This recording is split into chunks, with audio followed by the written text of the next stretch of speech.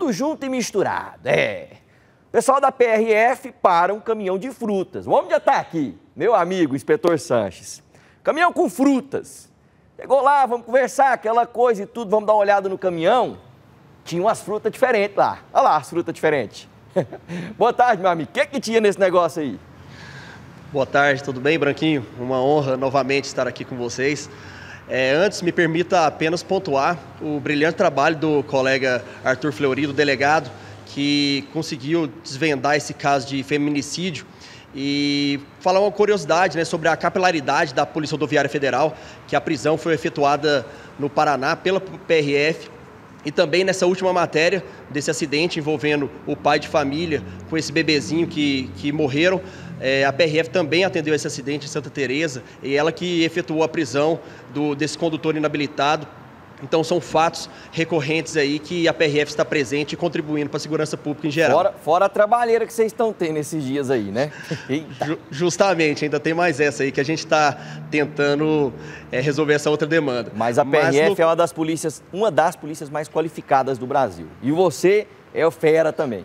Obrigado, Branquinho. Voltando para o caso aí de Porangatu, realmente é uma atenção que a gente tem é, muito focada em, nesse, nessa condução de ribites, de anfetamina. Esse veículo estava vindo de Goiânia para o Tocantins e para o Pará e foi interceptado e abordado é, em Porangatu. Nossos colegas perceberam que era de uma, um caminhão de frutas e verduras, mas o condutor estava muito, muito nervoso.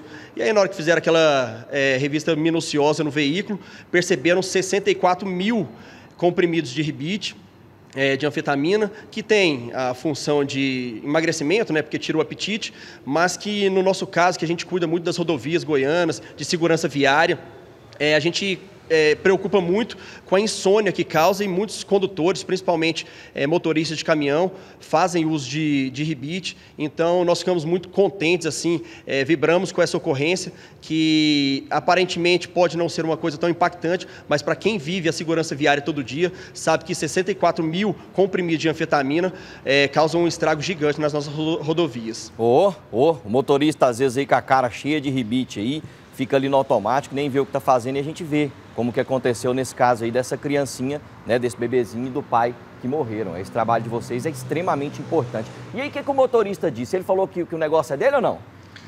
Não, ele falou que tinha recebido 300 reais para levar a carga para o norte do Brasil, mas infelizmente né, são pessoas que têm pouco conhecimento, que não têm noção do, do grau lesivo dessas, dessas mercadorias. Então, é muito importante que essas mercadorias que estão indo para a Polícia Judiciária, e nós temos uma parceria enorme com a Polícia Civil, que seja feito né, essa análise para quem está pedindo esse, esse material, quem está patrocinando, quem está comprando e revendendo isso, para que realmente a gente feche esse ciclo e não apenas o motorista, condutor da carga seja penalizado. E aí o condutor foi encam... É, vai sobrar, vai sobrar no peito dele, né? Não tem jeito. Às vezes o cara está até trabalhando e tudo, como ele estava aí, puxando a carga, legal e tudo, e entra numa dessa de bobeira aí, suja o nome, se enrola. O que, que aconteceu?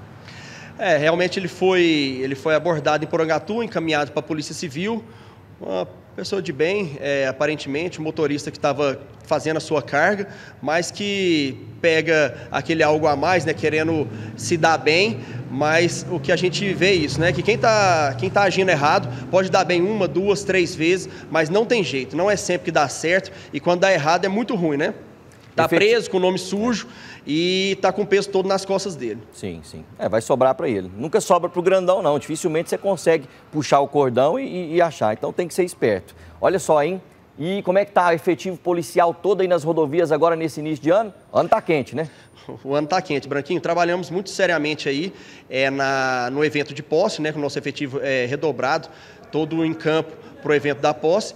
E agora, né, também com esse evento muito triste que aconteceu domingo em Brasília, nosso efetivo novamente foi reforçado, toda a nossa inteligência em campo, nosso efetivo operacional também, para que os, os ônibus e os passageiros é, que participaram desse, desse evento em Brasília, eles sejam identificados, eles sejam levados à Polícia Judiciária para que ela possa, né, com mais elementos de prova, poder individualizar cada conduta ali e realmente é, punir os arruaceiros, os vândalos e chegar verdadeiramente nos patrocinadores, nos grandes líderes desse evento que foi muito triste para a nossa nação. Muito trabalho para a PRF, como sempre, vocês estão desenvolvendo brilhantemente. Manda um abraço aí para todos os inspetores de Polícia Rodoviária Federal atuantes aqui em Goiás. E as portas aqui do Balanço Geral da Record TV estão sempre abertas. Branquinho, sempre uma honra, viu? Obrigado pelo espaço. É muito importante a gente estar tá levando a informação de uma forma transparente para a sociedade. Então, contem com a PRF.